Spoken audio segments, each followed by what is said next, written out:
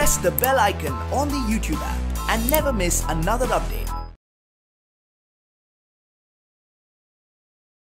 Hello ಮಕ್ಕಳೇ.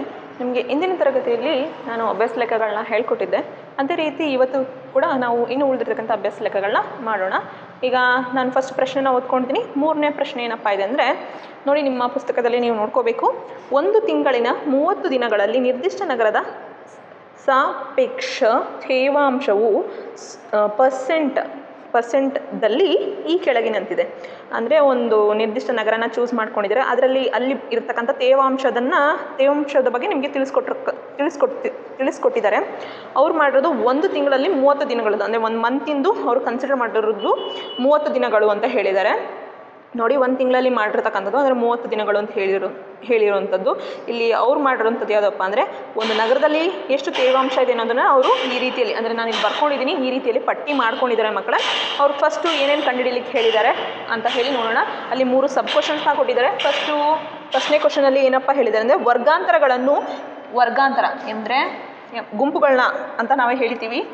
So ಎಂಬತ್ನಾಲ್ಕರಿಂದ ಎಂಬತ್ತಾರು, ಎಂಬತ್ತಾರರಿಂದ ಎಂಬತ್ತೆಂಟು. ಈ ರೀತಿಯಲ್ಲಿ ವರ್ಗಾಂತರಗಳನ್ನ ತೆಗೆದುಕೊಳ್ಳಿ ಅಂತ ಹೇಳಿದ್ದಾರೆ. ವರ್ಗಾಂತರಗಳು. ವರ್ಗಾಂತರಗಳನ್ನು ತೆಗೆದುಕೊಳ್ಳಿ ಅಂತ ಹೇಳಿದ್ದಾರೆ. ಓಕೆ ಅಂದರೆ ಈ ರೇಂಜಲ್ಲಿ ಎಂಬತ್ನಾಲ್ಕರಿಂದ ಎಂಬತ್ತಾರು ಎಂಬತ್ತಾರಿಂದ ಎಂಬತ್ತೆಂಟು. ಈ ರೀತಿಯಲ್ಲಿ. ಯಾಕಂದರೆ ಇಲ್ಲಿ ಪಾಯಿಂಟ್ ಸಮಥಿಂಗಲ್ಲಿ ಇದಾವಲ್ವ? ಅವ್ರು ಹೇಳಿರೋದೇನು ಎಂಬತ್ನಾಲ್ಕರಿಂದ ಎಂಬತ್ತಾರು. ಈ ರೇಂಜಲ್ಲಿ ತೆಗೆದುಕೊಳ್ಳಿ ಅಂತ ವರ್ಗಾಂತರನ ಅವರೇ ಕೊಟ್ಟಿದ್ದಾರೆ ಮೊದಲನೇ ಪ್ರಶ್ನೆಯಲ್ಲಿ. ಇತ್ಯಾದಿಗಳನ್ನು ತೆಗೆದುಕೊಂಡು ಒಂದು ವರ್ಗೀಕೃತ. ನೋಡಿ, ಅವ್ರು ಹೇಳಿರೋದೇನು? ವರ್ಗೀಕೃತ. ವರ್ಗೀಕೃತ ಆವೃತ್ತಿ ವಿತರಣಾ ಪಟ್ಟಿಯನ್ನು ತಯಾರಿಸಿ ಅಂತ ಹೇಳಿದ್ದಾರೆ. ಆವೃತ್ತಿ ವಿತರಣಾ ಪಟ್ಟಿ. ಪಟ್ಟಿನ ನೀವು ತಯಾರಿಸ್ಬೇಕು. ಮೊದಲೇ ಪ್ರಶ್ನೆ ಅಂದರೆ ಇದನ್ನು ಬಳಸ್ಕೊಂಡು, ಈ ಹಿಂಡನ್ನು ಬಳಸ್ಕೊಂಡು ಏನು ಮಾಡ್ತೀರಿ? ಈ ವರ್ಗಾಂತರಗಳನ್ನು ಬಳಸ್ಕೊಂಡು ಇನ್ನೊಂದಿಷ್ಟು ತೆಗೆದುಕೊಂಡು ವರ್ಗೀಕೃತ ಆವೃತ್ತಿ ವಿತರಣಾ ಪಟ್ಟಿನ ಬರೀರಿ ಅಂತ ಹೇಳಿದ್ದಾರೆ. ಆ್ಯಂಡ್ ನೆಕ್ಸ್ಟು ಇದರಲ್ಲಿ ಈ ದತ್ತಾಂಶಗಳು ಯಾವ ತಿಂಗಳು? ಅಂದರೆ ತಿಂಗಳ ಕಾಲಕ್ಕೆ ಸಂಬಂಧಿಸಿದ್ದು ಅಂತ, ತಿಂಗಳು ಅಥವಾ ಕಾಲ? ತಿಂಗಳು ಅಥವಾ ಕಾಲ. ಕಾಲಕ್ಕೆ ಸಂಬಂಧಿಸಿದ್ದು ಅನ್ನೋದನ್ನು ನೀವು ಕಂಡುಹಿಡಿಬೇಕು. ಎರಡನೇ ಪ್ರಶ್ನೆ. ಆ ವರ್ಗೀಕೃತ ಆವೃತ್ತಿ ವಿತರಣಾ ಪಟ್ಟಿ ಬೇಸಿಸ್ ಮೇಲೆ ಆ್ಯಂಡ್ ಈ ದತ್ತಾಂಶಗಳ ವ್ಯಾಪ್ತಿ ಎಷ್ಟು ಅಂತ. ವ್ಯಾಪ್ತಿ ಎಷ್ಟು ಅನ್ನೋದನ್ನು ಕಂಡುಹಿಡಿಬೇಕು. ವ್ಯಾಪ್ತಿ ಎಷ್ಟು ಅಂತ ಹೇಳಿ. ನಿಮಗೆ ವ್ಯಾಪ್ತಿ ಅಂದರೆ ರೇಂಜ್ ಅಂತ ಹೇಳಿದ್ದೆ ಅಲ್ವಾ? ಹೇಗೆ ಕಂಡುಹಿಡಿಯೋದು ಅಂತ ಹೇಳಿ ಗರಿಷ್ಠ ಮತ್ತು ಕನಿಷ್ಠನ ಕನ್ಸಿಡರ್ ಮಾಡ್ಕೊಂಡು ಅದರಲ್ಲಿ ವ್ಯತ್ಯಾಸ ಕಂಡುಹಿಡಿಯೋದೇ ನಮಗೆ ವ್ಯಾಪ್ತಿ ಆಗಿರುತ್ತೆ. ಇದನ್ನು ನೀವು ನೆನಪಲ್ಲಿ ಇಟ್ಕೋಬೇಕು ಮಕ್ಕಳ.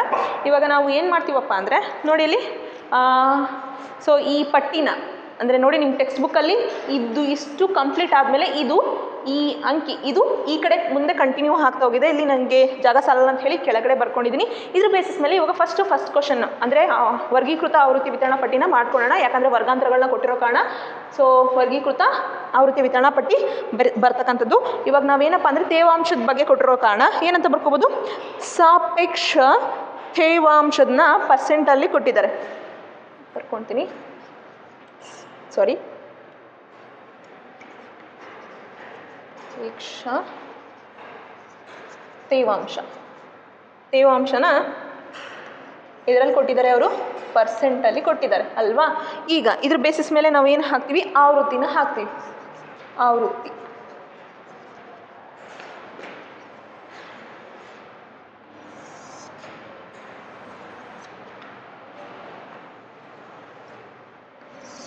ಅವರು ಪರ್ಸೆಂಟಲ್ಲಿ ಅಂದರೆ ಇದು ಪರ್ಸೆಂಟಲ್ಲಿ ಕೊಟ್ಟಿರ್ತಕ್ಕಂಥದ್ದು ಈ ಪಟ್ಟಿನ ಪರ್ಸೆಂಟಲ್ಲಿ ಕೊಟ್ಟಿದ್ದಾರೆ. ಈಗ ಫಸ್ಟ್ ನಾವು ವರ್ಗಾಂತರಗಳನ್ನ ಮಾಡ್ಕೋಬೇಕು. ಯಾವ ರೀತಿ ಅಂದರೆ ಎಂಬತ್ನಾಲ್ಕರಿಂದ ಎಂಬತ್ತಾರು, ಎಂಬತ್ತಾರಿಂದ ಎಂಬತ್ತೆಂಟು ಈ ರೀತಿಯಲ್ಲಿ ಇರ್ತಕ್ಕಂಥದ್ದು.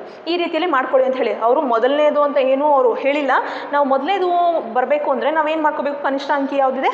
ಗರಿಷ್ಠ ಪರ್ಸೆಂಟ್ ಯಾವುದಿದೆ ಇದರಲ್ಲಿ ಈ ಪಟ್ಟಿಯಲ್ಲಿ ಅನ್ನೋದನ್ನು ನೋಡ್ಕೋಬೇಕು. ಕನಿಷ್ಠ ಎಷ್ಟು ಸಿಗುತ್ತೆ ನೋಡ್ಕೊಳ್ಳಿ ಅಲ್ಲಿ. ಕನಿಷ್ಠ ಎಷ್ಟು ಸಿಗಬಹುದು ನಮಗೆ ಅಪ್ಪ ಅಂದರೆ ಎಂಬತ್ತು ನಾಲ್ಕು ನಮಗೆ ಎಂಬತ್ನಾಲ್ಕರಿಂದ ಸಿಗುತ್ತೆ ನೋಡಿ ಇಲ್ಲಿ. ಎಂಬತ್ನಾಲ್ಕು ಪಾಯಿಂಟ್ ಒಂಬತ್ತಿದೆ ಎಂಬತ್ನಾಲ್ಕು ನಮಗೆ ಕನಿಷ್ಠ ಸಿಗ್ತಕ್ಕಂಥ ಪರ್ಸೆಂಟೇಜ್ ಆಗಿರೋದ್ರಿಂದ ನಾನು ಎಂಬತ್ನಾಲ್ಕು ರೇಂಜಿಂದ ತೆಗೆದುಕೊಳ್ತೀನಿ ಮಕ್ಕಳೇ ಎಂಬತ್ನಾಲ್ಕರಿಂದ ನಮಗೆ ಅಲ್ಲಿ ಹೇಳಿರೋದೇನು? ಎಂಬ, ಎಂಬತ್ನಾಲ್ಕರಿಂದ ಎಂಬತ್ತ ಆರು ಅಲ್ವಾ? ಸೊ ಕನಿಷ್ಠ ಇರೋದೆಷ್ಟು? ಅವರು ಮೊದಲನೇದು ವರ್ಗಾಂತರನೇ ಅಂತ ಏನು ಪರ್ಟಿಕ್ಯುಲರಾಗಿ ಹೇಳಿಲ್ಲ ಬಟ್ ನಾವು ಅಲ್ಲಿ ಆವೃತ್ತಿ ವಿತರಣಾ ಪಟ್ಟಿಯಲ್ಲಿ ನೋಡಿದಾಗ ನಮಗೆ ತುಂಬ ಕನಿಷ್ಠವಾಗಿ ಸಿಗ್ತಕ್ಕಂಥ ಪರ್ಸೆಂಟೇಜ್ ಯಾವುದಾಗಿರುತ್ತೆ ಎಂಬತ್ನಾಲ್ಕು. ಸೊ ಹಾಗಾಗಿರೋದ್ರಿಂದ ಎಂಬತ್ನಾಲ್ಕರಿಂದ ಫಸ್ಟು ಎಂಬತ್ತಾರು ಅಂತ ಹೇಳಿ ಬರ್ಕೊಳ್ಳೋಣ ಆ ನಂತರ ಏನು? ಎಂಬತ್ತಾರರಿಂದ ಎಂಬತ್ತೆಂಟು ಈ ರೀತಿಯಲ್ಲಿ ಬರ್ತಕ್ಕಂಥದ್ದು. ಈಗ ಗರಿಷ್ಠ ಅಂಕಿ ಯಾವ್ದು ಸಿಗಬಹುದು ನೋಡ್ಕೊಳ್ಳೋಣ ಗರಿಷ್ಠ ನಮಗೆ ಕೊನೆಯದಾಗಿ ತೊಂಬತ್ತ ಒಂಬತ್ತು, ಎಲ್ಲಾದರೂ ಇದನ್ನು ತೊಂಬತ್ತೊಂಬತ್ತು, ತೊಂಬತ್ತೆಂಟು ನೋಡ್ಕೊಳ್ಳೋಣ. ತೊಂಬತ್ತೆಂಟಿದೆ. ತೊಂಬತ್ತೊಂಬತ್ತು ಎಲ್ಲಾದರೂ ಸಿಗುತ್ತಾ? ತೊಂಬತ್ತೊಂಬತ್ತು ತೊಂಬತ್ತೊಂಬತ್ತು. ಹ್ಞೂ ಅಂದರೆ ನಾವು ಎಲ್ಲಿವರೆಗೂ ಬರ್ಕೋಬೋದಪ್ಪ ಅಂದರೆ ಕೊನೆಯದಾಗಿ ನೂರುವರೆಗೂ ಬರ್ಕೋಬೋದು. ಯಾಕಂದರೆ ಅಲ್ಲಿ ಎಂಬತ್ತ ಎಂಟು, ನೂರು ಒಳಗಡೆನೆ ಅದು ಸಿಗ್ದ, ಸಿಗ್ತಕ್ಕಂಥದ್ದು. ಹಾಗಾಗಿರೋದ್ರಿಂದ ನಾನು ವರ್ಗಾಂತರಗಳನ್ನ ಬರ್ಕೊಂಡು ಬಿಡ್ತೀನಿ ಮಕ್ಕಳೇ ನೋಡಿ, ಎಂಬತ್ತೆಂಟರಿಂದ ಎಷ್ಟು ಬರ್ಕೋಬೋದಪ್ಪ ಅಂದರೆ ತೊಂಬತ್ತು.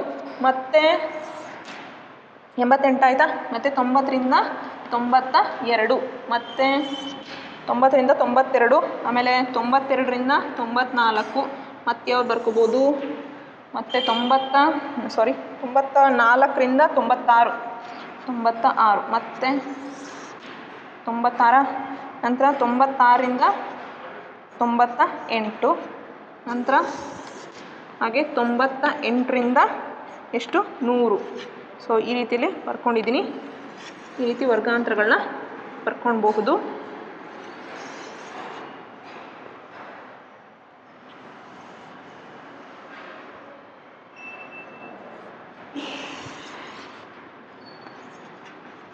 ನಿಮಗೆ ಒಟ್ಟು ಫೈನಲಿ ಎಷ್ಟು ತಿಂಗಳಲ್ಲಿ ಮಾಡಿರ್ತಕ್ಕಂಥದ್ದು ಒಂದು ಮಂತ್ ಅಂದರೆ ಮೂವತ್ತು ದಿನಗಳಲ್ಲಿ ಮಾಡಿರ ಮಾಡಿರ್ತಕ್ಕಂಥದ್ದು ಅಂತ ಹೇಳಿ ನಮಗೆ ಹೇಳಿರುವಂಥದ್ದು ಒಟ್ಟು ಕೂಡಿದಾಗ ನಮಗೆ ಎಷ್ಟು ಬರಬೇಕು? ನಮಗೆ ಮೂವತ್ತು ಬರಬೇಕು.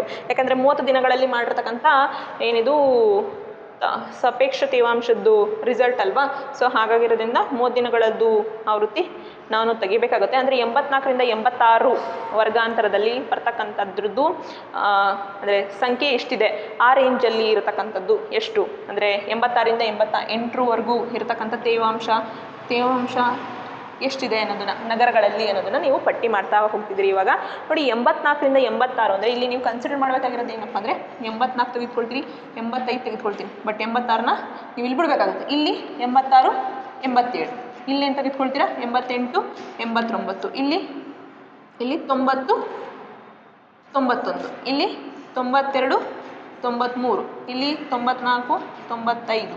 ತೊಂಬತ್ತಾರು, ತೊಂಬತ್ತೇಳು. ಇಲ್ಲಿ ತೊಂಬತ್ತೆಂಟು, ತೊಂಬತ್ತೊಂಬತ್ತು. ಇಲ್ಲಿ ನೂರನ್ನು ಬಿಡ್ತೀರಿ. ನೋಡಿ ಮಕ್ಕಳೇ ಹೇಳ್ತೀನಿ. ಎಂಬತ್ನಾಲ್ಕು, ಎಂಬತ್ತೈದು. ಅಷ್ಟನ್ನೇ ಕನ್ಸಿಡರ್ ಮಾಡಬೇಕು. ಎಂಬತ್ತಾರನ್ನ ಇಲ್ಲಿ ಬಿಟ್ಟು ಬಿಡಬೇಕು. ಎಂಬತ್ತಾರು, ಎಂಬತ್ತೇಳು ತಗೊಂಡ್ರೆ ಎಂಬತ್ತೆಂಟು ಬಿಟ್ಬಿಡ್ಬೇಕು ಅದು ನೆಕ್ಸ್ಟ್ಗೆ ಇಲ್ಲಿಗೆ ಜಂಪ್ ಆಗುತ್ತೆ. ಇಲ್ಲಿ ಎಂಬತ್ತೆಂಟು, ಎಂಬತ್ತೊಂಬತ್ತು ಕನ್ಸಿಡರ್ ಮಾಡ್ತೀರಾ? ಇಲ್ಲಿ ತೊಂಬತ್ತು ಬಿಟ್ಬಿಡ್ಬೇಕು ಇಲ್ಲಿ ತೊಂಬತ್ತು, ತೊಂಬತ್ತೊಂದು ತೆಗಿತೀರಿ ತೊಂಬತ್ತೆರಡು ಬಿಡ್ತೀರಿ. ಮತ್ತು ಇಲ್ಲಿ ತೊಂಬತ್ತೆರಡು, ತೊಂಬತ್ತ್ಮೂರು ತೊಗೊತೀರಿ. ತೊಂಬತ್ತೆರಡು, ತೊಂಬತ್ತ್ಮೂರು, ತೊಂಬತ್ನಾಲ್ಕು ಬಿಡ್ತೀರಿ. ತೊಂಬತ್ನಾಲ್ಕು, ತೊಂಬತ್ತೈದು ತೊಗೊತೀರಿ. ತೊಂಬತ್ತಾರು ಬಿಡ್ತೀರಿ. ತೊಂಬತ್ತಾರು, ತೊಂಬತ್ತೇಳು. ಅಂದರೆ ಆ ರೇಂಜಲ್ಲಿ ನೀವು ಏನು ಮಾಡಬೇಕು? ಟ್ಯಾಲಿನ ನೋಡ್ಕೊತಾ ಬರಬೇಕು ಮಕ್ಕಳೇ. ಇವಾಗ ಮಾಡೋಣ. ಟ್ಯಾಲಿ ಮಾಡಿ ಆವೃತ್ತಿ ಎಷ್ಟು ಬರುತ್ತೆ ಅನ್ನೋದನ್ನ ನೋಡ್ಕೊಳ್ಳೋಣ. ಎಂಬತ್ನಾಲ್ಕರಿಂದ ಎಂಬತ್ತಾರು ಅಂದರೆ ಎಂಬತ್ನಾಲ್ಕು ಅಂದರೆ ಎಂಬತ್ನಾಲ್ಕರಿಂದ ಎಂಬತ್ತಾರು ಅಂದರೆ ಎಂಬತ್ನಾಲ್ಕು ಮತ್ತು ಎಂಬತ್ತೈದು ಈ ರೇಂಜಲ್ಲಿ ಬರ್ತಕ್ಕಂಥದ್ದು ಯಾವುದ್ಯಾವುದು ಅಂಕಿಗಳು ಸಿಗಬಹುದು ಅನ್ನೋದನ್ನ ನೋಡೋಣ. ನೋಡಿ ಎಲ್ಲಾದರೂ ಸಿಗುತ್ತಾ? ಎಂಬತ್ನಾಲ್ಕು, ಎಂಬತ್ತೈದು ರೇಂಜಲ್ಲಿ ಎಂಬತ್ನಾಲ್ಕು, ಹಾಂ, ಇಲ್ಲಿದೆ ನೋಡಿ. ಎಂಬತ್ತ ನಾಲ್ಕು ಸಿಕ್ತು. ಎಂಬತ್ತೈದು ಎಲ್ಲಾದರೂ ಇದನ್ನು ಎಂಬತ್ತ ಐದರದ್ದು ಪಾಯಿಂಟ್ ಸಮಥಿಂಗಲ್ಲಿ ನೋಡಿ, ಇಲ್ಲ ಅಲ್ವಾ? ಸೊ ನಮಗೆ ಸಿಗ್ತಕ್ಕಂಥದ್ದು ಎಷ್ಟು? ಒಂದು. ಅಂದರೆ ಈ ರೇಂಜಲ್ಲಿ ಇರ್ತಕ್ಕಂಥ ಆವೃತ್ತಿ ಒಂದು ಅನ್ನೋದು ಗೊತ್ತಾಗುತ್ತೆ. ಅವ್ರ ಪ್ರಶ್ನೆ ಏನು ಕೇಳಿದ್ದಾರೆ ನೋಡ್ಕೊಳ್ಳಿ ಅಲ್ಲಿ ನಿಮಗೆ. ಪುಸ್ತಕದಲ್ಲಿ ಇರ್ತಕ್ಕಂಥ ಪ್ರಶ್ನೆ ಈ ಒಂದು ತಿಂಗಳಲ್ಲಿ ಮೂವತ್ತು ದಿನಗಳಲ್ಲಿ ನಿರ್ದಿಷ್ಟ ನಗರದ ಸಪೇಕ್ಷ ತೇವಾಂಶನ ಕೊಟ್ಟಿದ್ದಾರೆ ಈ ಕೆಳಗಿನಂತೆ. ತೇವಾಂಶ ಕೊಟ್ಟಿರೋದಾ?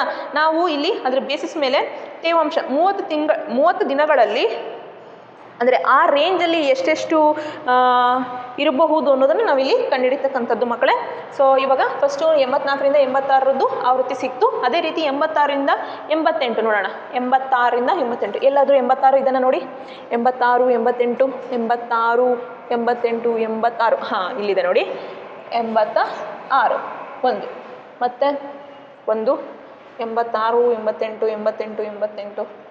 ಎಂಬತ್ತೊಂಬತ್ತಿದೆ ಯಾಕಂದರೆ ಎಂಬತ್ತೊಂಬತ್ತು ಎಂಬತ್ತ ಆರು, ಎಂಬತ್ತೆಂಟು ನಮಗೆ ಬೇಕಾಗಿರೋದು. ಎಪ್ಪತ್ತಾರು ಎಂಬತ್ತೆಂಟು ಎಲ್ಲಾದರೂ ಇದನ್ನು? ಸೊ ಎಷ್ಟಿದೆ? ಒಂದು. ಹಾಗಿದ್ರೆ ಟ್ಯಾಲಿನ ಏನಂತ ಬರೀತೀರಿ? ಒಂದು. ಟ್ಯಾಲಿನ ಬೇಸಿಸ್ ಮೇಲೆ ಇಲ್ಲಿ ಯಾವ ರೀತಿ ಒಂದು. ಇದು ಒಂದೇ ಬಂತು ನಮಗೆ ಈ ರೇಂಜಲ್ಲಿ ಈಗ ನೆಕ್ಸ್ಟ್ ಎಂಬತ್ತ ಎಂಟು. ಎಂಬತ್ತೆಂಟರದ್ದು ಅಂದರೆ ಎಂಬತ್ತೆಂಟರಿಂದ ತೊಂಬತ್ತರದ್ದು ವರ್ಗಾಂತರದಲ್ಲಿ ಬರ್ತಕ್ಕಂಥ ಆವೃತ್ತಿ ಎಷ್ಟು ಸಿಗ್ಬಹುದು ಅಂದರೆ ನೋಡಿ ಎಂಬತ್ತೆಂಟು, ಎಂಬತ್ತೊಂಬತ್ತು. ಎಲ್ಲಾದರೂ ಬರ್ತಾವ? ಎಂಬತ್ತೆಂಟರದ್ದು ಅಂದರೆ ಇಲ್ಲಿ ಎಂಬತ್ತೆಂಟು, ಎಂಬತ್ತೊಂಬತ್ತು. ನೋಡಿ ಇಲ್ಲಿ. ಎಂಬತ್ತೊಂಬತ್ತು. ಇದು ಒಂದಾ? ಎಂಬತ್ತೆಂಟು? ಎಂಬತ್ತ? ಒಂಬತ್ತು. ಎಂಬತ್ತೆಂಟು, ಎಂಬತ್ತೊಂಬತ್ತು ಎಂಬತ್ತೆಂಟು ಎಂಬತ್ತೊಂಬತ್ತು ಎಂಬತ್ತೆಂಟು ಎಂಬತ್ತೊಂಬತ್ತು. ಎಂಬತ್ತೆಂಟು? ಹಾಂ ಇಲ್ಲಂದ್ರೆ ಅಲ್ವಾ? ಹಾಂ. ಒಂದು, ಎರಡು. ಹಾಗಿದ್ರೆ ಇಲ್ಲಿ ಏನಂತ ಬರಿಬೋದು ನಾವು? ಆವೃತ್ತಿನ ಈ ರೇಂಜಲ್ಲಿ ಬರ್ತಕ್ಕಂಥದ್ದು ಎರಡು ಸಿಗ್ತವೆ. ಅಂದರೆ ಎರಡು ಆವೃತ್ತಿಗಳನ್ನ ನಾವು ನೋಡಬಹುದು. ಅದನ್ನು ನೋಡ್ಕೊಳ್ಳಿ ಇಲ್ಲಿ. ಎಂಬತ್ತೊಂಬತ್ತು ಪಾಯಿಂಟ್ ಎರಡು ಮತ್ತು ಎಂಬತ್ತೊಂಬತ್ತು.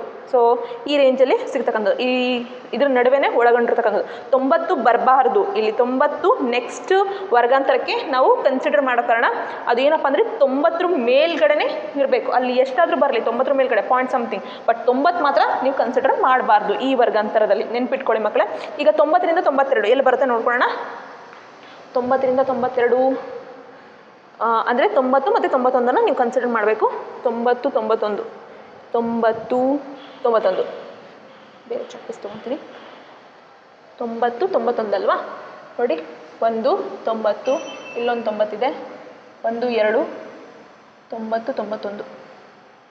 ತೊಂಬತ್ತು ತೊಂಬತ್ತ ಒಂದು ಸೊ ಎಲ್ಲೂ ಬರೋಲ್ಲ.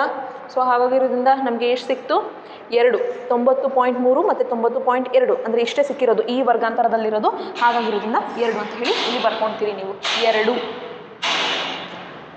ಎರಡು. ಗೊತ್ತಾಗ್ತಿದೆ ಅಲ್ವಾ ತೊಂಬತ್ತರಿಂದ ತೊಂಬತ್ತೆರಡು ವರ್ಗಾಂತರದಲ್ಲಿ ಬರ್ತಕ್ಕಂಥ ಆವೃತ್ತಿಗಳು ಎಷ್ಟಿದಾವಪ್ಪ ಅಂದರೆ ಎರಡು ಇದ್ದಾವೆ ಅಂತ ಹೇಳಿ ಬರ್ಕೊಳ್ಳೋವಂಥದ್ದು ನೆಕ್ಸ್ಟ್ ತೊಂಬತ್ತೆರಡರಿಂದ ತೊಂಬತ್ನಾಲ್ಕು. ಅಂದರೆ ಈ ರೇಂಜಲ್ಲಿ ಈ ವರ್ಗಾಂತರದಲ್ಲಿ ಬರ್ತಕ್ಕಂಥದ್ದು ಎಷ್ಟಿರಬೇಕು? ತೊಂಬತ್ತೆರಡು ಅಥವಾ ತೊಂಬತ್ತ್ಮೂರು ಇದನ್ನು ಅಂದರೆ ಆ ಆ ನಡುವೆ ಬರ್ತಕ್ಕಂಥ ಅಂಕಿಗಳು, ಅದರ ರೇಂಜಲ್ಲಿ ಬರ್ತಕ್ಕಂಥ ಅಂಕಿಗಳನ್ನ ನೀವು ಕನ್ಸಿಡರ್ ಮಾಡಬೇಕು.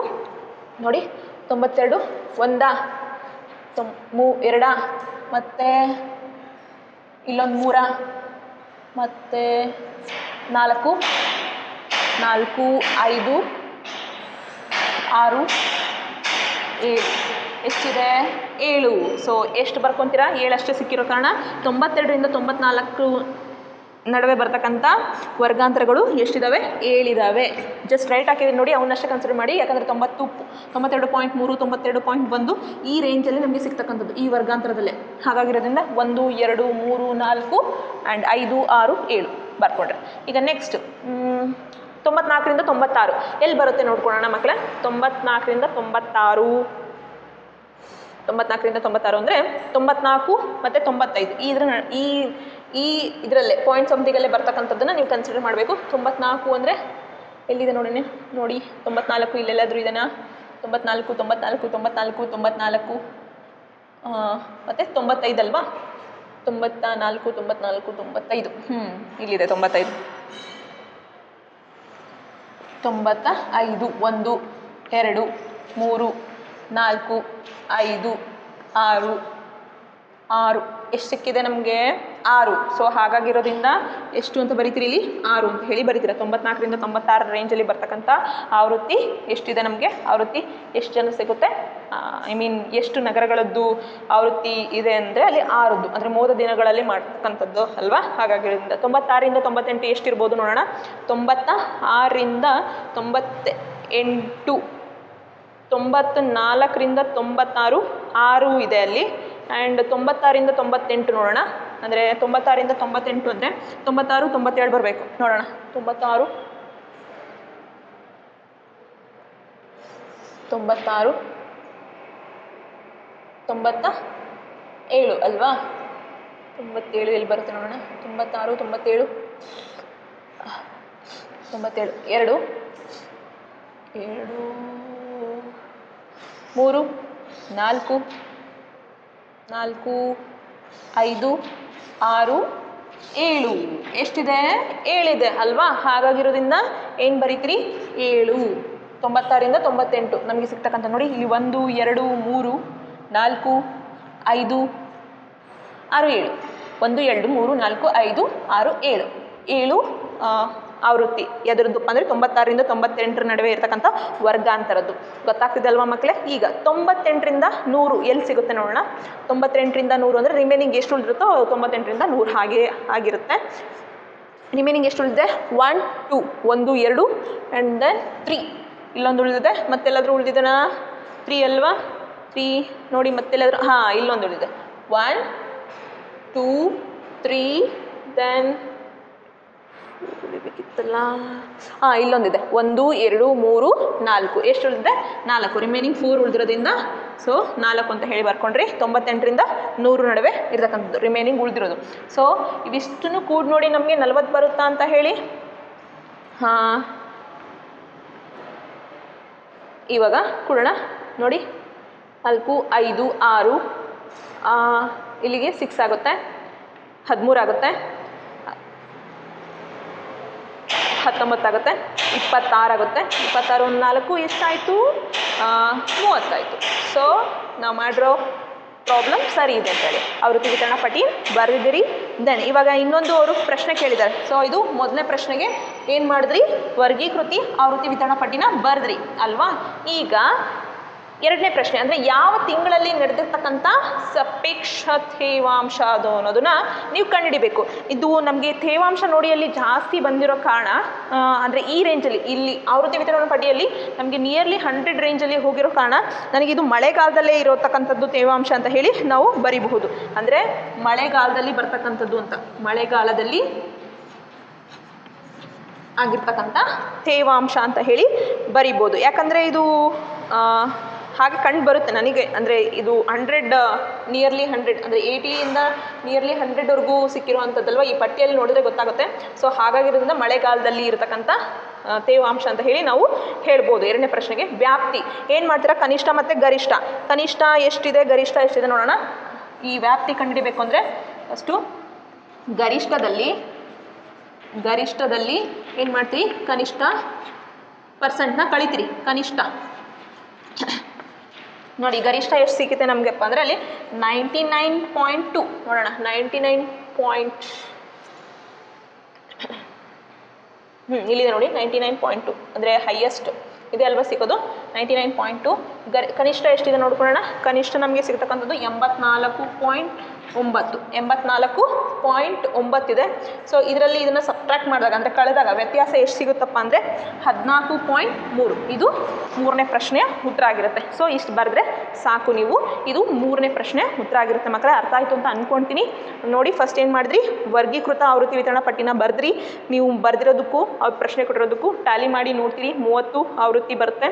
ಒಟ್ಟಾರೆ ಕೂಡಿದಾಗ ಅದಾಯಿತು.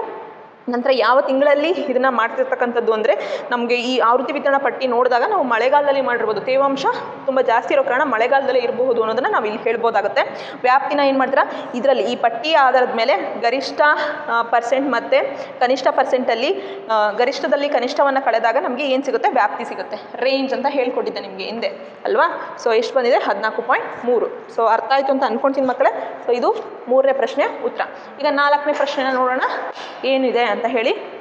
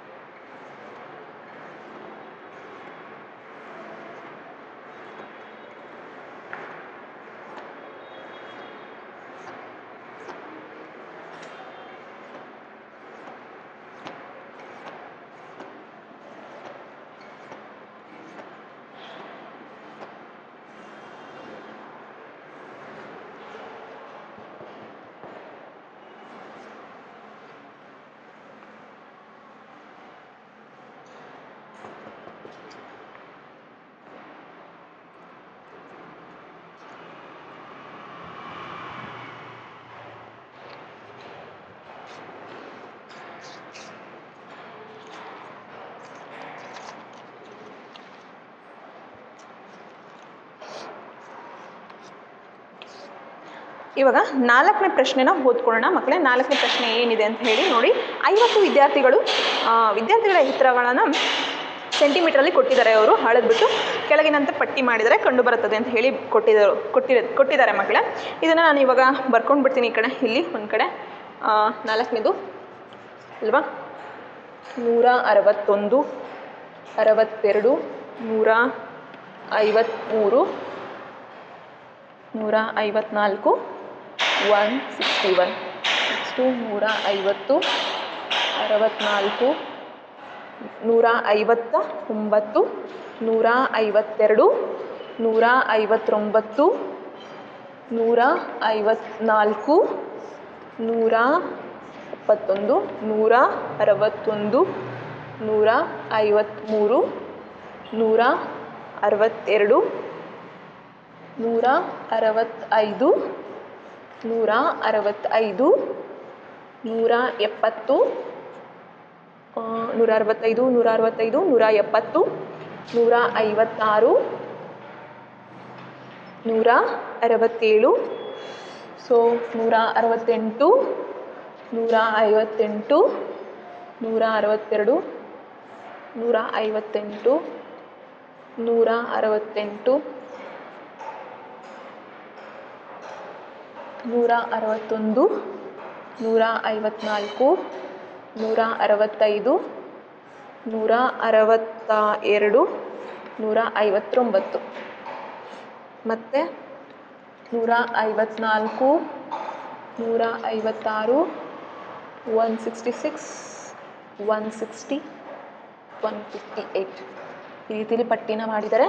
ಸೊ ಇದು ನೆಕ್ಸ್ಟ್ ಇರೋದು ಅಲ್ಲಿ ನಾನು ಆವೃತ್ತಿ ವಿತರಣಾ ಪಟ್ಟಿ ನಿಮ್ಮ ಪಕ್ಕದಲ್ಲಿ ಹಾಕೋಕ್ಕೋಸ್ಕರ ಏನು ಮಾಡ್ತೀನಪ್ಪ ಅಂದರೆ ಇಲ್ಲಿ ಕೆಳಗಡೆ ಬರ್ಕೊಳ್ತಾ ಇದ್ದೀನಿ. ನೂರ ಐವತ್ನಾಲ್ಕು, ನೂರ ಅರವತ್ತೆರಡಿದೆ ನೂರ ಎಪ್ಪತ್ತೆರಡು, ನೂರ ಅರವತ್ತೆಂಟು one sixty one one fifty three ಮತ್ತು ನೂರ ಐವತ್ತು ಕೊಟ್ಟಿದ್ದಾರೆ.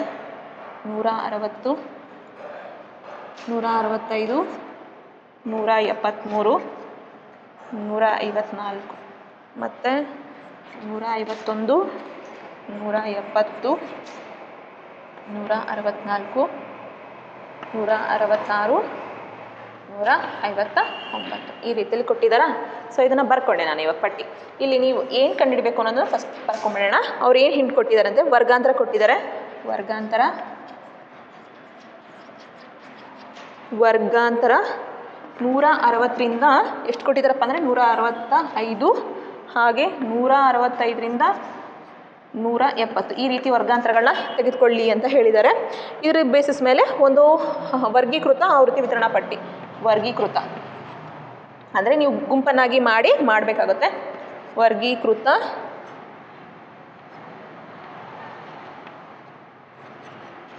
ಆವೃತ್ತಿ ವಿತರಣಾ ಪಟ್ಟಿ. ಪಟ್ಟಿನ ಮಾಡಬೇಕಾಗುತ್ತೆ. ಈಗ ನೆಕ್ಸ್ಟ್ ಈ ಕೋಷ್ಟಕದಿಂದ ವಿದ್ಯಾರ್ಥಿಗಳ ಎತ್ತರದ ಬಗ್ಗೆ ನೀವು ಯಾವ ತೀರ್ಮಾನವನ್ನು ಕೈಗೊಳ್ಳುವಿರಿ ಅಂತ ಹೇಳಿದ್ದಾರೆ. ಎರಡನೇ ಪ್ರಶ್ನೆದು. ನಾನು ಇದು ಎರಡನೇ ಪ್ರಶ್ನೆದು ಆಮೇಲೆ ಹೇಳ್ತೀನಿ. ಇವಾಗ ಫಸ್ಟ್ ನಾವು ಏನು ಮಾಡ್ಕೊಳ್ಳೋಣ ಇದ್ರ ಬೇಸಿಸ್ ಮೇಲೆ ಹೈಟ್ನ ಸೆಂಟಿಮೀಟರ್ ಲೆಕ್ಕದಲ್ಲಿ ಕೊಟ್ಟಿದ್ದಾರೆ ಅದ್ರ ಬೇಸಿಸ್ ಮೇಲೆ ನಾವೇನು ಹಾಕ್ಕೊತೀವಿ? ಫಸ್ಟ್ ಕೋಷ್ಟಕವನ್ನು ಹಾಕ್ಕೊಳ್ಳೋಣ ನೋಡಿ ಅಲ್ಲಿ ನೂರ ಅರವತ್ತರಿಂದ ಅಂತ ಹೇಳಿ ತೆಗೆದುಕೊಳ್ಳಿ ಅಂತ ಹೇಳಿದ್ದಾರೆ. ಮೊದಲನೇ ವರ್ಗಾಂತರ ಅಂತ ಏನೋರು ಮೆನ್ಷನ್ ಮಾಡಿಲ್ಲ. ಫಸ್ಟ್ ನಾವು ಕನಿಷ್ಠ ಗರಿಷ್ಠದ ಆಧಾರದ ಮೇಲೆ ಆವೃತ್ತಿ ವಿತರಣಾ ಪಟ್ಟಿಯನ್ನು ಬರ್ಕೋಬೇಕಾಗುತ್ತೆ. ಅವ್ರು ಕೊಟ್ಟಿರೋದೇನು? ಎತ್ತರಗಳನ್ನ ಕೊಟ್ಟಿದ್ದಾರಲ್ವಾ? ಎತ್ತರ. ಎದ್ರಲ್ಲಿ ಕೊಟ್ಟಿದ್ದಾರೆ? ಸೆಂಟಿಮೀಟರ್ಗಳಲ್ಲಿ ಕೊಟ್ಟಿದ್ದಾರೆ. ಹೌದಾ? ಈಗ ನೆಕ್ಸ್ಟು ಆವೃತ್ತಿನ ಬರ್ಕೋಬೇಕು ನಾವಿಲ್ಲಿ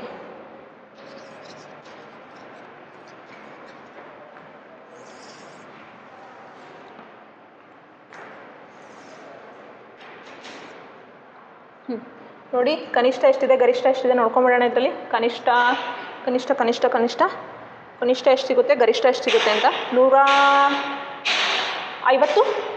ನೂರ ಐವತ್ತು ನಮಗೆ ಗರಿಷ್ಠ ಯಾವುದು? ಕನಿಷ್ಠ ಯಾವುದು? ಗರಿಷ್ಠ. ಗರಿಷ್ಠ? ಕನಿಷ್ಠ. ನೋಡಿ ಗರಿಷ್ಠ ಮತ್ತು ಕನಿಷ್ಠ. ಗರಿಷ್ಠ ನಮಗೆ ಎಷ್ಟು ಸಿಕ್ಕುತ್ತಪ್ಪ ಅಂದರೆ ನೂರ ಎಪ್ಪತ್ತ ಮೂರು. ಐ ಥಿಂಕ್ ನೂರ ಎಪ್ಪತ್ತ್ಮೂರು ಇದರಲ್ಲಿ ಈ ಪಟ್ಟಿಯಲ್ಲಿ ನೋಡಿದಾಗ ನೂರ ಎಪ್ಪತ್ತ್ಮೂರು ಕನಿಷ್ಠ ನೂರ ಐವತ್ತು. ಸೊ ಹಾಗಾಗಿರೋದ್ರಿಂದ ನಾನು ವರ್ಗಾಂತರನ ಹೇಗೆ ತೆಗೆದುಕೊಳ್ಬೇಕಪ್ಪ ಅಂದರೆ ಸ್ಟಾರ್ಟ್ ಮಾಡ್ಕೊಳ್ಬೇಕಾಗಿರೋದು ನೂರ ಐವತ್ತರಿಂದನೇ ಸಿಗೋದು ನಮಗೆ. ನೋಡಿ ಇಲ್ಲಿ ನೂರ ಐವತ್ತೇ ಸ್ಟಾರ್ಟಿಂಗ್ ನಂಬರ್ ಅಲ್ವಾ? ಸೊ ನೂರ ಐವತ್ತು ಆದಮೇಲೆ ಬಂದಿರತಕ್ಕಂಥ ಅಂಕಿಗಳೇ ಇಲ್ಲಿ ಇರ್ತಕ್ಕಂಥದ್ದು. ಈ ಪಟ್ಟಿಯಲ್ಲಿ ನೀವು ಗಮನಿಸಬೇಕು ಮಕ್ಕಳೇ. ಹಾಗಾಗಿರೋದ್ರಿಂದ ಫಸ್ಟು ಇದ್ರ ಬೇಸ್ ಮೇಲೆ, ಅಂದರೆ ಸ್ಟಾರ್ಟಿಂಗ್ ನಮಗೆ ವರ್ಗಾಂತರ ನೂರ ಐವತ್ತರಿಂದನೇ ಸ್ಟಾರ್ಟ್ ಆಗಬೇಕು. ನಾನು ಏನು ತೆಗೆದುಕೊಳ್ತೀನಪ್ಪ ಅಂದರೆ ನೂರ ಐವತ್ತರಿಂದ ನೂರ ಐವತ್ತ ಐದು ಈ ರೀತಿಯಲ್ಲಿ ಒಂದು ವರ್ಗಾಂತರವನ್ನು ತೆಗೆದುಕೊಂಡೆ. ನಂತರ ನೂರ ಐವತ್ತೈದರಿಂದ ನೂರ ಅರವತ್ತು. ಐದೈದು ಅಂತರಗಳು ಇರೋ ಹಾಗೆ ಬರ್ಕೊಳ್ತಾ ಇದ್ದೀನಿ. ಯಾಕಂದರೆ ನಮಗೆ ಕೊಟ್ಟಿರುವ ಇಲ್ಲಿ ವರ್ಗಾಂತರದಲ್ಲಿ ಐದೈದು ಸೈಜ್ ಐದೈದು ಗಾತ್ರ ಇದೆ ಅಲ್ವಾ? ನೂರ ಅರವತ್ತರಿಂದ ನೂರ ಅರವತ್ತೈದಕ್ಕೆ ಐದು ಅಂತರಗಳನ್ನ ನಾವು ನೋಡಬಹುದು. ಇವಾಗ ನೂರ ಅರವತ್ತರಿಂದ ನೂರ ಐವತ್ತೈದರಿಂದ ನೂರ ಅರವತ್ತ ಇವಾಗ ನೆಕ್ಸ್ಟ್ ವರ್ಗಾಂತರ ಏನು ಬರುತ್ತೆ ಹೇಳ್ರಿ?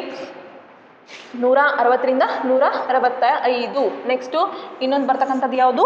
ನೂರ ಅರವತ್ತೈದರಿಂದ ನೂರ ಎಪ್ಪತ್ತು ಈ ರೀತಿಯಲ್ಲಿ ಬರ್ಕೊಂಡೆ. ನಂತರ ಅದು ಕೊನೆಯದಾಗಿ ನಮಗೆ ನೂರ ಎಪ್ಪತ್ತ್ಮೂರು ಇದೆ. ಅಲ್ವಾ? ಇನ್ನೂ ಒಂದು ವರ್ಗಾಂತರ ಬರುತ್ತೆ. ನೂರ ಎಪ್ಪತ್ತರಿಂದ ನೂರ ಎಪ್ಪತ್ತ ಐದು ಈ ರೇಂಜ್ ಒಳಗಡೆ ನೂರ ಎಪ್ಪತ್ತ್ಮೂರು ಬರೋದ್ರಿಂದ ಇನ್ನೊಂದು ವರ್ಗಾಂತರವನ್ನು ನಾನು ಬರ್ಕೊಂಡೆ. ಗೊತ್ತಾಗ್ತಿದೆ ಅಲ್ವಾ ಮಕ್ಕಳೇ ನೀವು ಟಾಲಿನಾದರೂ ಅಂದರೆ ತಾಳೆನಾದರೂ ಹಾಕ್ಕೊಂಡು ನೀವು ಮಾಡಬಹುದು. ಇಲ್ಲಿ ಜಾಸ್ತಿ ಆಯಿತು ಅಂತ ಅನಿಸಿದರೆ ನಿಮಗೆ ಕನ್ಫ್ಯೂಸ್ ಆಗುತ್ತೆ ಅಂದರೆ ಒಟ್ಟು ಕೂಡಿದಾಗ ನಮಗೆ ಎಷ್ಟು ಬರಬೇಕಪ್ಪ ಅಂದರೆ ಅವರು ಎಷ್ಟು ಹೇಳಿದ್ದಾರೆ ಎಷ್ಟು ವಿದ್ಯಾರ್ಥಿಗಳು ಹೇಳಿದ್ದಾರೆ ಪ್ರಶ್ನೆಯಲ್ಲಿ ನೋಡ್ಕೊಳ್ಳಿ.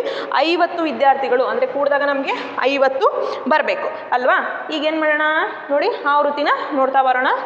ರೇಂಜ್ ಏನೋ ಬರ್ಕೊಂಡೆ ನಾನು ಅಂದರೆ ಸಾರಿ ವರ್ಗಾಂತರವನ್ನು ಈ ರೀತಿಯಲ್ಲಿ ವರ್ಗಾಂತರ ಮಾಡ್ಕೊಂಡಿದ್ದೀನಿ ಗುಂಪುಗಳನ್ನಾಗಿ ಮಾಡ್ಕೊಂಡಿದ್ದೀನಿ ಈ ಆವೃತ್ತಿ ವಿತರಣಾ ಪಟ್ಟಿಯ ಆಧಾರದ ಮೇಲೆ ಅದರಲ್ಲಿ ಕನಿಷ್ಠ ಗರಿಷ್ಠನ ನೋಡಿಕೊಂಡು ಈಗ ಬರ್ಕೊಂಬಿಡೋಣ ಫಸ್ಟ್ ನೋಡ್ಕೊಳ್ತಾ ಹೋಗೋಣ. ನೂರ ಐವತ್ತರಿಂದ ಐವತ್ತೈದು ಅಂದರೆ ಯಾವ್ಯಾವ್ದೆಲ್ಲ ಬರಬೇಕಪ್ಪ? ನೂರ ಐವತ್ತೈದು ಅಂದರೆ ನೂರ ಐವತ್ತು, ನೂರ ಐವತ್ತೊಂದು, ನೂರ ಐವತ್ತೆರಡು, ನೂರ ಐವತ್ತ್ಮೂರು ಮತ್ತು ನೂರ ಐವತ್ನಾಲ್ಕು. ಇವು ಬರಬೇಕು, ಅಲ್ವಾ? ಇಲ್ಲಿ ನೋಡ್ಕೊಳ್ಳೋಣ. ಫಸ್ಟು ನೂರ ಐವತ್ತು ಇಲ್ಲದ್ರೂ ಇದನ್ನು ನೂರ ಐವತ್ತು ಒಂದು, ನೂರು ಇಲ್ಲಿ ಇಲ್ಲಿ ಫಸ್ಟಿಂದ ನೋಡ್ಕೊಂತ ಬಂದುಬಿಡೋಣ. ನೂರ ನೂರ ಐವತ್ತೆಲ್ಲಾದರೂ ಇದನ್ನು ನೂರ ಐವತ್ತೊಂದು ನೂರ ಐವತ್ತೆರಡು ನೂರ ಐವತ್ತ್ಮೂರು ನೂರ ಐವತ್ತ್ಮೂರು ಇದೆ. ಆಮೇಲೆ ನೂರ ಐವತ್ನಾಲ್ಕು ಮತ್ತು ನೂರ ಐವತ್ತೆರಡು ಸಿಗುತ್ತೆ ನೂರ ಐವತ್ತು ಸಿಗುತ್ತೆ. ಮತ್ತಿಲ್ಲಿ ನೂರ ಐವತ್ತ್ಮೂರು ನೂರ ಐವತ್ತ್ನಾಲ್ಕು ಅದು ಒಂದು. ಇಲ್ಲಿ ಈ ಈ ಇರಲಿಲ್ಲಾದರೂ ನೋಡಿ. ಈ ಅಂಕಿಗಳು ಎಲ್ಲಾದರೂ ಬರ್ತಾವ ಅಂತ ಹೇಳಿ ನೂರ ಐವತ್ತು ನೂರ ಐವತ್ತು ನೂರ ಐವತ್ತು ದೆನ್ ನೂರ ಐವತ್ತೊಂದು ನೂರ ಐವತ್ತೆರಡು ನೂರ ಐವತ್ತ್ಮೂರು ನೂರ ಐವತ್ನಾಲ್ಕಿದೆ ನೂರ ಐವತ್ತ್ಮೂರಿದೆ ಸೊ ಕೌಂಟ್ ಮಾಡಿ. ಇವಾಗ ಟ್ಯಾಲಿ ತೊಗೊಳೋಣ ಒಂದು, ಎರಡು, ಮೂರು, ನಾಲ್ಕು, ಐದು, ಆರು, ಏಳು, ಎಂಟು, ಒಂಬತ್ತು, ಹತ್ತು. ಮತ್ತೆಲ್ಲಾದರೂ ಇದನ್ನು ನೋಡಿ. ನೂರ ಐವತ್ನಾಲ್ಕು ಇಲ್ಲೊಂದಿದೆ ಅಲ್ವಾ? ಇಲ್ಲೊಂದಿದೆ ಇಲ್ಲೊಂದಿದೆ. ಹ್ಞೂ ನೋಡಿ, ಇವಾಗ ಇವಾಗ ಕೌಂಟ್ ಮಾಡಿ. ನೋಡಿ, ಎಷ್ಟು ಬರಬೇಕು ನಮಗೆ ಅಂದರೆ ಒಂದು, ಎರಡು, ಮೂರು, ನಾಲ್ಕು, ಐದು, ಆರು, ಏಳು, ಎಂಟು, ಒಂಬತ್ತು, ಹತ್ತು ಹನ್ನೊಂದು ಹನ್ನೆರಡು. ನೋಡಿ ಎಷ್ಟು ಅಂದರೆ ನೂರ ಐವತ್ತರಿಂದ ನೂರ ಐವತ್ತೈದು ಈ ವರ್ಗಾಂತರದಲ್ಲಿ ಈ ಅಂಕಿಗಳು ಎಲ್ಲಿ ಬರ್ತವೆ ನೋಡ್ಕೋಣ. ಅಂದರೆ ನೂರ ಐವತ್ತೈದನ್ನು ಬಿಟ್ಟು ನಾವು ನೋಡ್ಕೋಬೇಕಾಗಿರೋದು ನೆನ್ಪಿಟ್ಕೋಬೇಕು ನೀವು.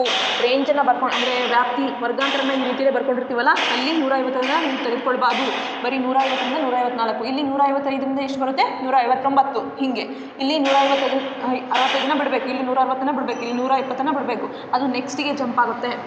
ಅರ್ಥಾಗ್ತದನಾ ಈಗ ಇಲ್ಲಿ ನೋಡಿ ಒಂದ, ಎರಡ, ಮೂರು, ನಾಲ್ಕು, ಐದು, ಆರು, ಏಳು, ಎಂಟು, ಒಂಬತ್ತು, ಹತ್ತು ಹನ್ನೊಂದು ಹನ್ನೆರಡು. ಹಾಗಾದರೆ ಎಷ್ಟು ಬರುತ್ತೆ ಇಲ್ಲಿ?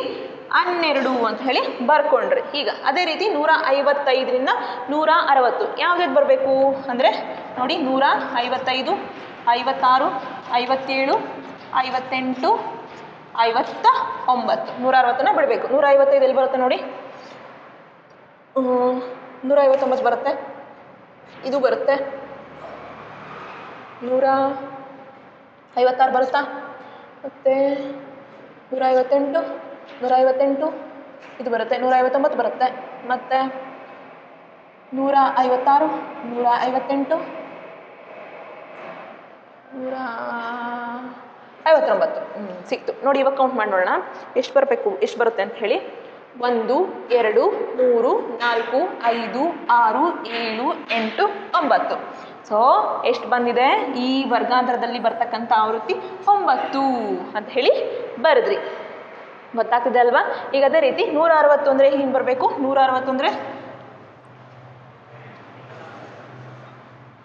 ನೂರ ಅರವತ್ತು ನೂರ ಅರವತ್ತಿಂದ ನೂರ ಅರವತ್ತೈದು ಅಂದರೆ ನೂರ ಅರವತ್ತು ಅರವತ್ತೊಂದು, ಅರವತ್ತೆರಡು, ನೂರ ಅರವತ್ತ್ಮೂರು ನೂರ ಅರವತ್ತ್ನಾಲ್ಕು ಬರಬೇಕು, ಅಲ್ವಾ? ನೂರ ಅರವತ್ತ್ನಾಲ್ಕು ನೋಡಿ ಇವಾಗ, ನೂರ ಅರವತ್ತು ಇಲ್ಲ, ನೂರ ಅರವತ್ತೊಂದಿದೆ ಅಲ್ವಾ? ಪಿಂಚ್ ಸಲ ಹಾಕ್ತೀನಿ. ನೋಡಿ, ನೂರ ಅರವತ್ತೊಂದು, ನೂರ ಅರವತ್ತೆರಡು, ನೂರ ಅರವತ್ತೊಂದಿದೆ ಇಲ್ಲಿ ನೂರ ಅರವತ್ತ್ನಾಲ್ಕು ಬರುತ್ತೆ. ನೂರ ಅರವತ್ತೊಂದು, ನೂರ ಅರವತ್ತೆರಡು, ನೂರ ಅರವತ್ತೈದು ಬರಲ್ಲ. ನೂರ ಅರವತ್ತು ಇದು ಬರಲ್ಲ. ಇಲ್ಲಿ ನೂರ ಅರವತ್ತೇಳು ಇದೆ. ನೂರ ಅರವತ್ತೆಂಟು ಅರವತ್ತೆಂಟು ಇದು ಬರಲ್ಲ. ನೂರ ಅರವತ್ತೊಂದು ನೂರ ಅರವತ್ತೆರಡು ನೂರ ಅರವತ್ತು ಬರುತ್ತೆ. ಮತ್ತು ನೂರ ಅರವತ್ತೈದು ಇದೆ, ಬರಲ್ಲ. ನೂರ ಅರವತ್ತಾರು ಬರಲ್ಲ. ಈಗ ನೂರ ಅರವತ್ತೆರಡು ಆಮೇಲೆ ನೂರ ಅರವತ್ತೊಂದಿದೆ ಮತ್ತು ನೂರ ಅರವತ್ತಿದೆ ಅರವತ್ತ್ನಾಲ್ಕು ಬರುತ್ತೆ. ಹ್ಮ್. ಈಗ ಎಷ್ಟು ಬರ್ಬೇಕು ನಮಗೆ? ನೋಡೋಣ ಕೌಂಟ್ ಮಾಡೋಣ. ಒಂದು, ಎರಡು, ಮೂರು, ನಾಲ್ಕು, ಐದು, ಆರು, ಏಳು ಎಂಟು, ಒಂಬತ್ತು, ಹತ್ತು ಹನ್ನೊಂದು ಹನ್ನೆರಡು, ಹದಿಮೂರು.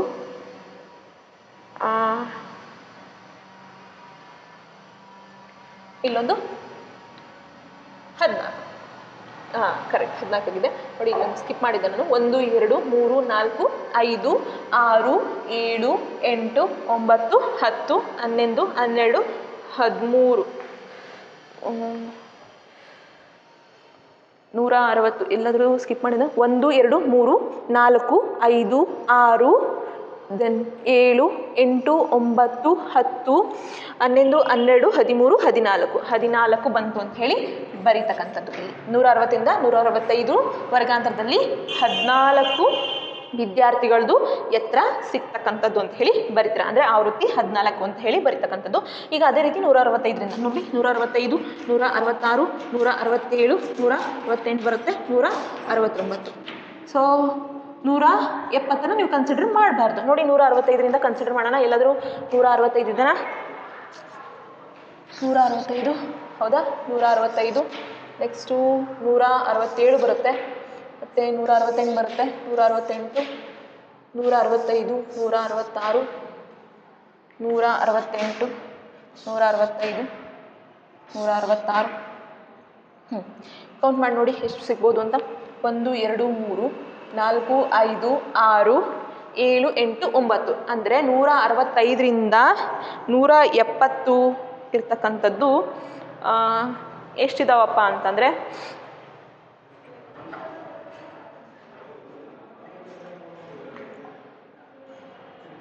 ಎಲ್ಲಾದರೂ ಬಿಟ್ಟಿದ್ದೀನಾ? ನೂರ ಅರವತ್ತ ಒಂಬತ್ತು. ನೂರ ಅರವತ್ತೊಂಬತ್ತು. ನೋಡಿ, ಒಂದು, ಎರಡು, ಮೂರು ದೆನ್ ಮೂರು ಆದಮೇಲೆ ಇಲ್ಲಿ ಒಂದು, ಎರಡು, ಮೂರು, ನಾಲ್ಕು, ಐದು, ಆರು, ಏಳು, ಎಂಟು, ಒಂಬತ್ತು. ಎಷ್ಟಿದೆ? ಒಂಬತ್ತಿದೆ. ಎಲ್ಲಿಂದ ಅಂದರೆ ನಮಗೆ ನೂರ ಅರವತ್ತೈದರಿಂದ ನೂರ ಎಪ್ಪತ್ತು, ಅಲ್ವಾ? ಸೊ ನಮಗೆ ನೂರ ಅರವತ್ತೈದರಿಂದ ಸ್ಟಾರ್ಟ್ ಆಗಬೇಕು. ನೂರ ಅರವತ್ತೈದು ಎಲ್ಲಾದರೂ ಸಿಗುತ್ತಾ? ನೂರ ಅರವತ್ತೈದು ನೂರ ಅರವತ್ತೈದು. ಇಲ್ಲಿ ನೂರ ಅರವತ್ತೇಳು ಕೂಡ ಬರುತ್ತೆ. ನೂರ ಅರವತ್ತೆಂಟು ನೂರ ಅರವತ್ತೆಂಟು, ಮೂರು, ನಾಲ್ಕು, ಐದು, ಆರು, ಏಳು, ಎಂಟು, ಒಂಬತ್ತು, ಹತ್ತು. ನೋಡಿ, ಒಂದು, ಎರಡು, ಮೂರು, ನಾಲ್ಕು, ಐದು, ಆರು, ಏಳು, ಎಂಟು, ಒಂಬತ್ತು, ಹತ್ತು. ಹತ್ತು. ಸೊ ಇಲ್ಲಿ ಹತ್ತು ಅಂತ ಹೇಳಿ ಬರ್ಕೊಂತೀನಿ. ನೂರ ಅರವತ್ತೈದರಿಂದ ನೂರ ಎಪ್ಪತ್ತರವರೆಗೆ ಇರ್ತಕ್ಕಂಥ ಹತ್ತು ವಿದ್ಯಾರ್ಥಿಗಳದ್ದು ಎತ್ತರ ಆಗಿರುತ್ತೆ. ಹತ್ತು ವಿದ್ಯಾರ್ಥಿಗಳು ಆ ರೇಂಜಲ್ಲಿ ಬರ್ತ, ಅಂದರೆ ಆ ವರ್ಗಾಂತರದಲ್ಲಿ ಬರ್ತಕ್ಕಂಥದ್ದು ಅಂತ ಹೇಳಿ ಬರ್ದ್ರಿ. ಈಗ ನೂರ ಎಪ್ಪತ್ತರಿಂದ ನೂರ ಎಪ್ಪತ್ತೈದು ಅಂದರೆ ರಿಮೈನಿಂಗ್ ಯಾವ ಉಳಿದಿರ್ತಾವೋ ಅವೆಲ್ಲ ಏನಾಗಿರ್ತವೆ? ನೂರ ಎಪ್ಪತ್ತೈದರಿಂದ ನೂರ ಎಪ್ಪತ್ತ ಐದಾಗಿರ್ತವೆ ಅಂತ ಹೇಳಿ ನೀವು ಬರ್ಕೋಬೋದು. ಯಾಕಂದರೆ ಇಲ್ಲಿ ರಿಮೈನಿಂಗ್ ಎಲ್ಲ ಆಲ್ಮೋಸ್ಟ್ ಅಲ್ಲಿ ಆಗಿದೆ. ನೋಡೋಣ. ಒಂದು, ಎರಡು ಇಲ್ಲೊಂದು ಮೂರು ಉಳಿದಿದೆ. ದೆನ್ ನಾಲ್ಕು ಐದು ಹಾಗಾಗಿರೋದ್ರಿಂದ ಏನು ಬರೀತೀರಿ ಇಲ್ಲಿ? ಐದು ಅಂತ ಹೇಳಿ ಬರೀತೀರಿ. ಇನ್ನು ಆಲ್ಮೋಸ್ಟ್ ಅಲ್ಲಿ ಎಲ್ಲವೂ ಆಗಿದಾವಲ್ವಾ?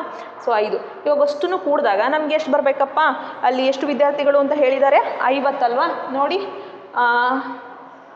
ಇಪ್ಪತ್ತೊಂದು ಇಪ್ಪತ್ತ ಒಂದು, ಮೂವತ್ತೈದು, ನಲವತ್ತು ನಲವತ್ತು ಐದಾಗುತ್ತೆ ನಲವತ್ತೈದು, ಇದು ಒಂದು ಐವತ್ತು. ಸೊ ಫಿಫ್ಟಿ ನೋಡಿ, ಇನ್ನೊಂದ್ಸರಿ ಹೇಳ್ತೀನಿ. ಹತ್ತೊಂಬತ್ತ, ಇಪ್ಪತ್ತೆಂಟ, ಮೂವತ್ತು ದೆನ್ ಪ್ಲಸ್ ಟೆನ್ ನಲವತ್ತು.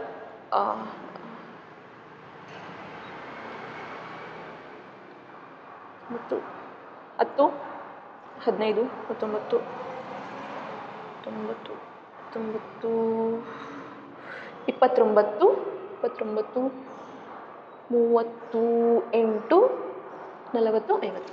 ಸರಿ ಇದೆ. ನೋಡಿ, ಇವಾಗ ಅದನ್ನಷ್ಟು ಕೂಡಿದಾಗ ನಮಗೆ ಐವತ್ತು ಬಂದಿರತಕ್ಕಂಥ ಇವಾಗ ನಾವೇನು ಮಾಡಿದ್ವಿ? ಆವೃತ್ತಿ ವಿತರಣಾ ಪಟ್ಟಿನ ಮಾಡಿದ್ವಿ. ವರ್ಗೀಕೃತ ಆವೃತ್ತಿ ವಿತರಣಾ ಪಟ್ಟಿನ. ಈಗ ನೆಕ್ಸ್ಟ್ ಇದರಲ್ಲಿ ಅವರು ಎರಡನೇ ಪ್ರಶ್ನೆನ ಹೇಳಿದ್ದಾರೆ. ಏನಪ್ಪ ಅಂದರೆ, ಪುಸ್ತಕದಲ್ಲಿ ನೋಡ್ಕೊಳ್ಳಿ. ಈ ಕೋಷ್ಟಕದಿಂದ ವಿದ್ಯಾರ್ಥಿಗಳ ಎತ್ತರದ ಬಗ್ಗೆ ನೀವು ಯಾವ ತೀರ್ಮಾನವನ್ನು ಕೈಗೊಳ್ಳುವಿಳಿ, ಕೈಗೊಳ್ಳುವಿರಿ ಅಂತ ಹೇಳಿ ಹೇಳಿರ್ತಕ್ಕಂಥದ್ದು. ಸೊ ನಾನು ಈ ಕೋಷ್ಟಕದ ಆಧಾರದ ಮೇಲೆ ಏನಪ್ಪ ಹೇಳಬಲ್ಲೆ ಅಂದರೆ ಫಿಫ್ಟಿ ಪರ್ಸೆಂಟ್ ಐವತ್ತು ಪರ್ಸೆಂಟ್ ವಿದ್ಯಾರ್ಥಿಗಳು ನೂರ ಅರವತ್ತೈದು ಸೆಂಟಿಮೀಟ್ರ್ಗಿಂತ ಕಡಿಮೆ ಎತ್ತರವನ್ನು ಹೊಂದಿದ್ದಾರೆ ಅಂತ ಹೇಳ್ಬೋದು. ಅಂದರೆ ನೂರ ಅರವತ್ತು, ಇಲ್ಲಿ ಎಲ್ಲರಿಗಿಂತ ತುಂಬ ಲೀಸ್ಟ್ ಅಂದರೆ ನೂರ ಅರವತ್ತು, ನೂರ ಅರವತ್ತೈದು ನೂರ ಅರವತ್ತೈದು. ಇಲ್ಲಿ ನೂರ ಅರವತ್ತೈದಿದೆ ಅಲ್ವಾ? ಐವತ್ತು ಪರ್ಸೆಂಟ್ ವಿದ್ಯಾರ್ಥಿಗಳು, ಅಂದರೆ ಮಿನಿಮಮ್ ಸೊ ನೂರ ಅರವತ್ತೈದು ಅಂದರೆ ಫಿಫ್ಟಿ ಪರ್ಸೆಂಟ್ ವಿದ್ಯಾರ್ಥಿಗಳು ನೂರ ಅರವತ್ತೈದು ಅಂದರೆ ಈ ಇಲ್ಲಿ ನೋಡಿ ನಮಗೆ ಹೈಯೆಸ್ಟ್ ಇರೋದು ಇದಾ, ಅಲ್ವಾ? ಸೊ ಈ ಕೋಷ್ಟಕದ ಆಧಾರ ಮೇಲೆ ನಮಗೆ ಹೈಯೆಸ್ಟ್ ಸಿಗ್ತಕ್ಕಂಥದ್ದು, ಅಂದರೆ ನೂರ ಅರವತ್ತೈದು, ನೂರ ಅರವತ್ತರಿಂದ ನೂರ ಅರವತ್ತೈದು ವರ್ಗಾಂತರದಲ್ಲಿ ಹೆಚ್ಚು ವಿದ್ಯಾರ್ಥಿಗಳದ್ದು ನಮ್ಮದು ಹೈಟ್ ಸಿಗುತ್ತೆ. ಸೊ ಇಲ್ಲಿ ಏನು ಹೇಳ್ಬೋದಪ್ಪ ಅಂದರೆ ಒಂದು ಫಿಫ್ಟಿ ಪರ್ಸೆಂಟ್ ಐವತ್ತು ಪರ್ಸೆಂಟು ಎರಡನೇ ಪ್ರಶ್ನೆಗೆ ಉತ್ತರ. ಬರೆದ್ಬಿಡ್ತೀನಿ ನನಗೆ ಎರಡನೇ ಪ್ರಶ್ನೆಗೆ ಏನಂತ ಬರಿಬೋದಪ್ಪ ಅಂದರೆ ಫಿಫ್ಟಿ ಪರ್ಸೆಂಟಷ್ಟು ವಿದ್ಯಾರ್ಥಿಗಳು ವಿದ್ಯಾರ್ಥಿಗಳು ನೂರ ಅರವತ್ತೈದು ಸೆಂಟಿಮೀಟ್ರ್ಗಿಂತ ಕಡಿಮೆ ಎತ್ತರವನ್ನು ಹೊಂದಿದ್ದಾರೆ.